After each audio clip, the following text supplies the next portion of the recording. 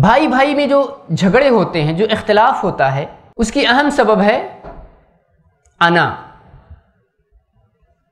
لوگ کہتے ہیں، میں میں بڑا ہوں، میرا رتبہ بڑا ہے، میری ایک شان و شوکت ہے، میرا ایک روب و دبدبا ہے۔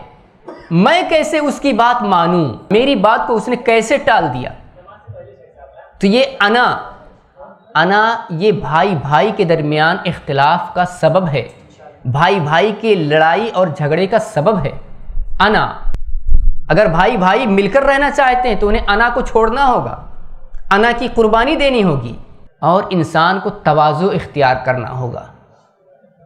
اگر ہم چاہتے ہیں کہ بھائی بھائی کے رشتے بنے رہیں بھائی بھائی کے تعلقات استوار رہیں، تو ہمیں توازو سے کام لینا ہوگا۔ توازو کیا کہتے ہیں؟ توازو کیا ہوتا ہے؟ توازو کہتے ہیں کہ اپنے آپ کو چھوٹا بنا کر پیش کرنا۔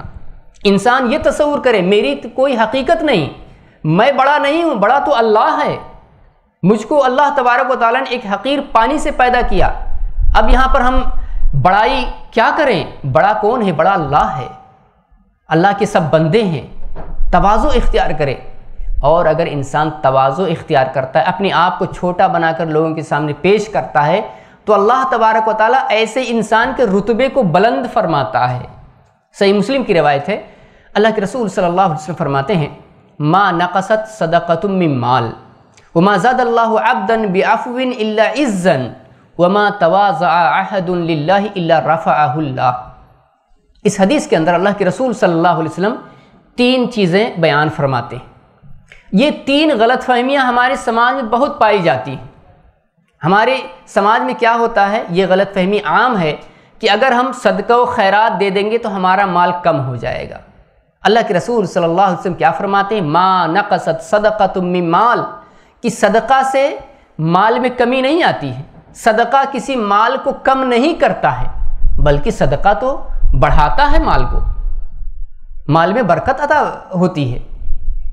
تو اللہ کے رسول صلی اللہ علیہ وسلم کیا فرماتے ہیں؟ ما نقصت صدقہ تم مال؟ کہ صدقہ سے کسی مال میں کمی نہیں آتی۔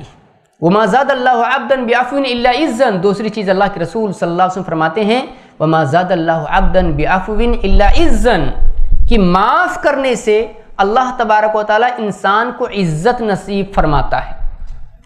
عزت عطا فرماتا ہے۔ ہمارے معاشر سماج میں یہ غلط فہمی ہے کہ اگر ہم اپنے سامنے والے کو معاف کر دیں گے، اپنے دشمن کو معاف کریں گے، تو لوگ ہم کو بزدل کہیں گے، بزدل سمجھیں گے۔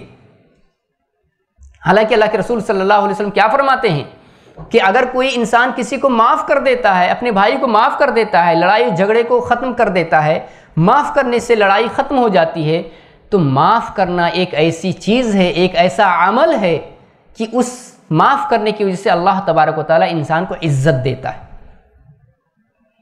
تیسری چیز اللہ کے رسول صلی اللہ علیہ وسلم فرماتے ہیں، وما احد للہ الا رفعہ اللہ کہ اگر کوئی انسان اللہ تبارک و تعالیٰ کے لیے توازو اختیار کرتا ہے، اپنے آپ کو لوگوں کے سامنے چھوٹا بنا کر پیش کرتا ہے اللہ رفعہ اللہ تو اللہ تبارک و تعالیٰ اس کو بلند فرماتا ہے۔ تو معلوم یہ ہوا کہ اس حدیث کے اندر تین چیزیں اللہ کے رسول صلی اللہ علیہ وسلم بیان فرمائے کہ صدقہ کسی مال کو کم نہیں کرتا، اسی طرح معاف کرنے سے انسان کی عزت کم نہیں ہوتی ہے، بلکہ اللہ تبارک و تعالیٰ اس کو اور عزت عطا فرماتا ہے۔ اس کی عزت میں اضافہ فرماتا ہے۔ اور توازو اختیار کرنے سے انسان چھوٹا نہیں بنتا ہے، بلکہ اللہ تبارک و تعالیٰ اس کو بلند فرماتا ہے، اس کو بلندی عطا فرماتا ہے۔ تو ہمارے درمیان، ہمارے معاشر سماج میں جو یہ غلط فہمی ہے کہ اگر ہم چھوٹا بن کر رہیں گے، اگر ہم توازو اختیار کریں گے، اگر ہم اپنے سامنے کسی کو بڑا بنا کر نہیں پیش کریں گے، اگر ہم اپنی بڑائی نہیں بیان کریں گے تو ہماری عزت میں کمی ہو جائے گی، ہمارے رتبے میں کمی ہو جائے گی، ہمارے روب و دبدے میں کمی میں ہو جائے گی۔ نہیں، یہ غلط فہمی ہے۔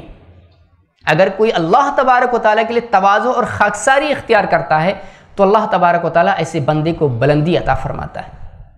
تو بھائی بھائی کی لڑائی، جھگڑے کو ختم کرنے کے لیے ہمیں اور آپ کو توازو اختیار کرنا ہوگا۔